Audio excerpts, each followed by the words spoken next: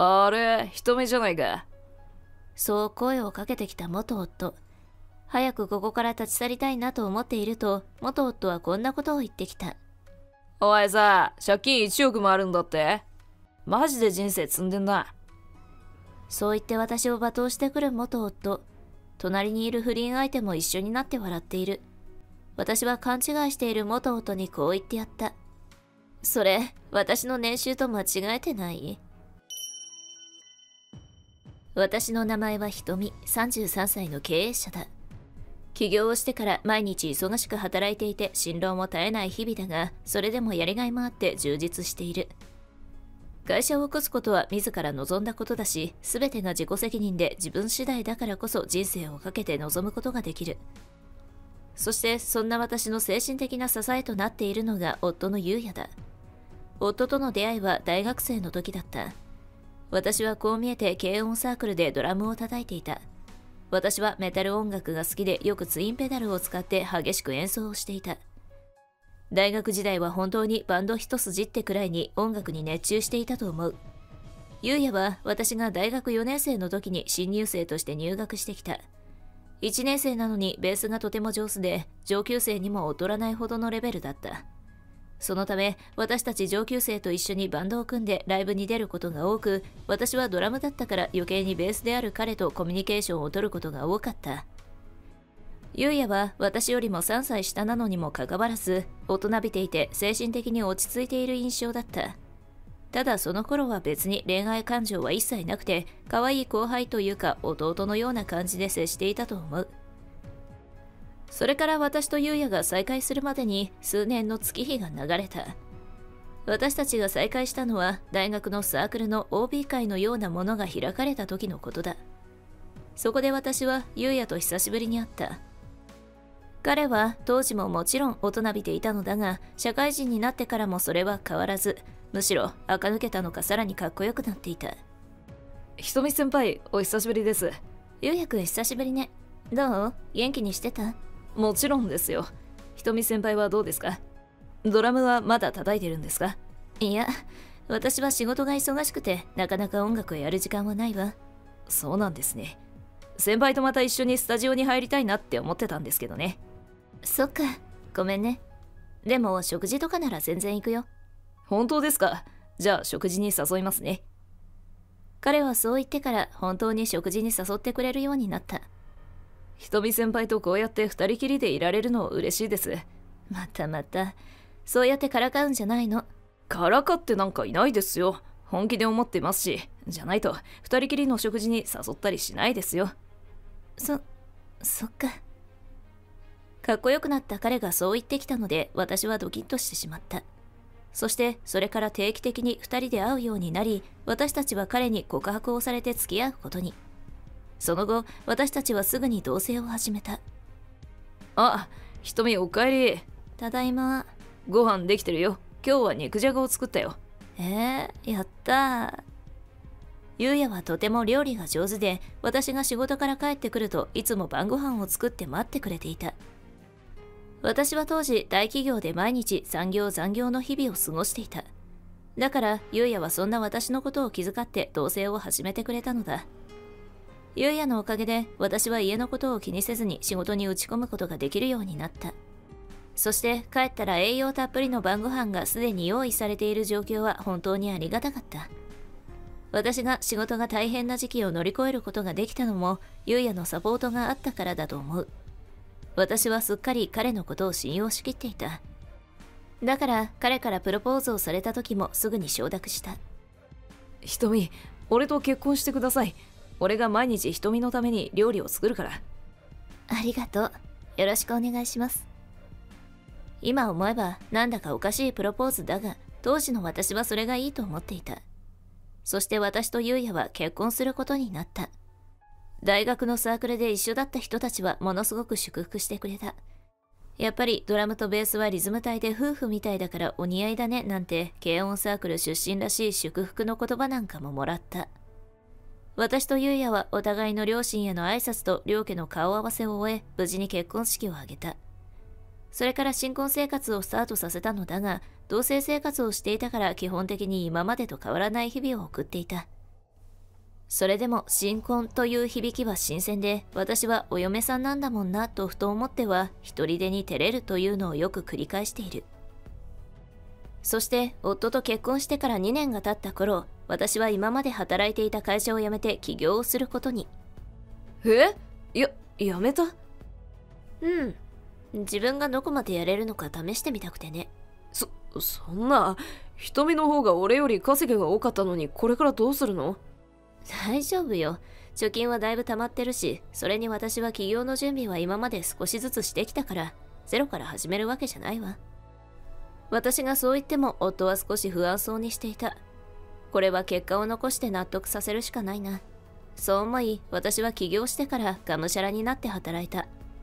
そのおかげか、前もって準備をしていたのが良かったからか、すぐに利益を上げることができた。もちろん、まだまだ昔のような高い給料が手に入っているわけではない。私が就職していたのはもともと大手企業だったから会社員でも給料は高かった。まずはその時くらいの稼ぎを得ないと。そう思って私は経営者として一生懸命に働いた。夫には本当に感謝している。夫が家事をしてくれていなかったら私はここまで仕事だけに集中することはできなかっただろう。だが夫との夫婦生活は私の知らないところで少しずつ壊れていっていたようだ。最初に違和感を感じたのはある日私が出勤をしてからすぐに忘れ物に気づいて家に帰った時のこと。夫は私よりも少しだけ遅い時間にいつも出社していた。とは言っても9時半からだから普通の会社員とあまり変わらない時間だ。だが私が10時頃に忘れ物を取りに家に帰ると夫は普通にソファーでくつろいでいたのだ。え？ひ、瞳？どうして家に帰ってきたの？夫はものすごく慌てていた。忘れ物をしちゃったの。あなたは今日は会社は？え、えっと、実はちょっとだけ体調が悪くて。え？大丈夫なの？うん。大丈夫とって会社は休んだから大丈夫。そっか。でも休んだなら私に一言連絡をくれてもよかったのに。ああごめん。心配かけたくなくてさ。私会社に戻っても大丈夫？あれだったら少し家に残って看病するけど。いや大丈夫だから。気にせず会社に戻りなよ。あ分かったでも何かあったらすぐに連絡してね。うんありがとう。この時私はなんとなくだが違和感を感じた。夫は本当に体調が悪いのだろうか。それにあの慌てようなんだか怪しい。それからというもの私は夫の行動を注意深く観察するようになった。よくよく観察すると夫には怪しい点がいくつもあったやたらとスマホを気にしていたり、誰かとやりとりをしているのか、開くたびにニヤニヤしていた。まさか浮気？最近、夫はやたらと新しい服を買っている。そしてこれは別に強制しているわけではないから構わないのだが、夫は今までは率先して晩ご飯を作ってくれていたのだが、最近はあまり作らなくなった。仕事が忙しいのかわからないが、買ってきたもので済ますことが多くなったのだ。また飲み会が増えたようで週末は必ずと言っていいほど飲み歩いている。夫婦として過ごす時間も明らかに減っていて、私は夫のことがますます怪しいと思い始めていた。そんなこともあり、私は更新所に頼んで夫のことを調査してもらうことに。その間、私は仕事に関しても大きな変化があった。だが、そのことがきっかけで、私は夫と離婚をすることになる。おい会社が倒産したって本当か？え？父さん？しらばっくれても無駄だぞ。お前が社長じゃなくなるって聞いたんだからな、はあ、そのことね。それは父さんとは違うわよ。何が違うんだよ。社長じゃなくなったってことはお前の会社は終わったってことだろ。いやだから私がちゃんと説明をしようとしても夫は聞く耳を持たなかった。そしてあろうことか私に離婚届を突きつけてきたのだ。え？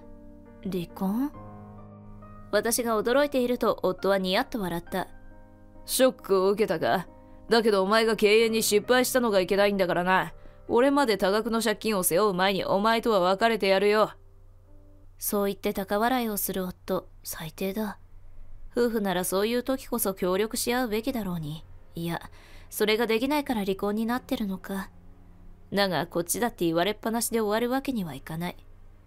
あなた離婚したいのは不倫相手と一緒になりたいからでしょ？え？何言ってんだよ不倫？は？私は動揺する夫に更新所から届いた不倫の証拠写真を突きつけた。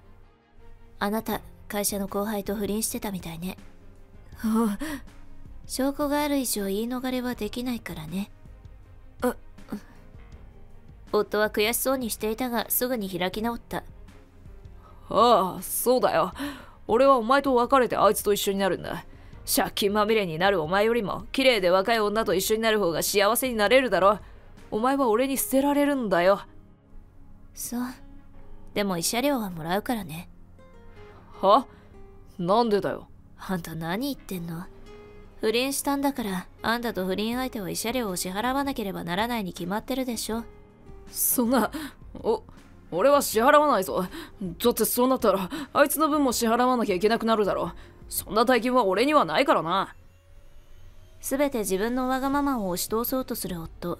この時、私はあることを思いついた。じゃあ、あなたの慰謝料はもらわないから財産分与をなしにするのはどう？私がそう提案すると、夫は案の定乗っかってきた。慰謝料を支払わないで済むならそれでいいぞ。しかも財産分与なしってことは、俺が働いて貯めた貯金をお前に支払わなくていいんだろ？借金だらけなのに大丈夫かよ？気にしなくていいわよ。じゃあ財産分与なしであんたからもらう慰謝料はなし。不倫相手からの慰謝料はもらうってことでいい？仕方ないな。それでいいぜ。じゃあ、荷物をまとめたらさっさと出ていけよ。私は笑いをこらえるのに必死だった。勘違いをしたままの夫は本当に滑稽だった。だが、私の話に聞く耳を持たない彼が悪いのだ。私は財産分与なしになったことに歓喜しながら荷物をまとめて出て行った。それから私は夫と離婚をし、不倫相手に慰謝料を請求した。不倫相手は文句を言っていたが、夫が代わりに支払うと言ったので、とりあえずは納得したようだ。こいつはとんでもない額の借金まみれ女になるからよ。慰謝料程度じゃ生活が楽にならないんだよ。夫がそう言うと、不倫相手は私のことを馬鹿にしたような目で見て笑った。まあ、この女が底辺に落ちるならいいわ。こいつも夫と同じく最低な性格をしているな。まあ、もう私にとってはどうでもいいことだが。私はむしろ夫と縁を切ることができてよかったと思う。無事に離婚が成立し、私は夫と赤の他人になることができたのだ。その後は一人で生活をしながら仕事に関するいろいろなことを頑張った。気づけば2年の月日が流れていた。本当に夢中になると私はそればかりになってしまうな。思えばサークルでドラムをやっていた時もそうだ。一つのことに全神経を注いで集中するタイプだから一日のほとんどをそれに費やしてしまう。だがそれが成功への道だということも分かっていた。だからその癖は私の長所として絶対に直さないようにしていた。そのおかげで私は随分と豊かな生活を送れていた。そんな中、私は休みの日に街中を歩いている時に元夫と遭遇してしまった。あれ、人目じゃないか。そう声をかけてきた元夫。隣にはあの不倫相手の女がいた。どうやら再婚してまだ続いているようだ。不倫相手と元夫はニヤニヤしながら私を見ている。早くここから立ち去りたいなと思っていると、元夫はこんなことを言ってきた。お前さ、借金1億もあるんだって？え？会社の倒産ってそんなに損失が出るんだな。2年経ってもそんなに借金あるってやばいな。マジで人生積んでんな。そう言って私を罵倒してくる元夫。隣にいる不倫相手も一緒になって笑っている。さすがにこのまま笑われたまま別れるのは腹が立つ。もう離婚して2年も経つし、財産分与もなしで私に損がない状態だから本当のことを教えてやるか。私は勘違いしている元夫にこう言ってやった。それ、私の年収と間違えてない？え？あなたずっと勘違いしてるけど、私の会社は倒産したんじゃなくて、大手企業が買いたいって言ったから売ったの。その時に10億くらいで売れてね。私はそのお金で不動産投資を始めたの。他にも新しい事業を最近始めてて、まだそっちでは利益はそこまで出ていないけど、不動産投資だけでも年収1億は超えてるのよ。そ、そんな、俺は借金だって聞いたぞ。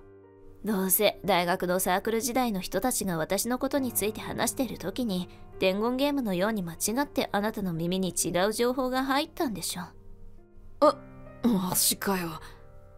元夫は絶句していて不倫相手も黙り込んで固まっていた。ああでもあなたについては正しい情報をもらってるわ。あなたの会社不景気による経営難で大幅な人員削減を行ったんですってねそれであなたクビになったって聞いたわよ。え？私の発言に不倫相手が目を見開いて元夫を見ていた。どういうこと？元夫は顔を青くして動揺している。え？え？いや。あはい。瞳適当な嘘を言うんじゃねえよ。俺はクビになんてなってねえよ。今だって毎日抗議してるんだ。抗議ってやっぱりクビになってるじゃない。ううるせえ子供がいない家庭だから転職して奥さんにも働いてもらえばいいだろって言われちゃったんだよ。はあ？私専業主婦になりたくて結婚したんだよ。今更働くなんて無理なんだけど。だから毎日講義に行ってるって言ってるだろ。そんなことしてる暇あるなら今までと同じ給料の仕事探してきてよ。そんなことをしつこくするような男だから真っ先にリストラされるのよ。ななんだと？誰のおかげで飯が食えてると思ってんだよ元夫と不倫相手は人目をはばからずに喧嘩をしだしたので私はそっとその場から去った。あの様子だと2人の夫婦関係も終わるだろう。ちなみにその後大学のサークル時代の後輩から聞いた話によると元夫は再婚相手から逃げられて現在はバツ2の無職状態だそうだ。マジで人生積んだなと笑ってきた元夫がブーメランを食らっててちょっと笑ってしまった。私はすでに元夫のことなど忘れて幸せな人生を送っていたのでこのまま平和な日常を過ごしていこうと思う。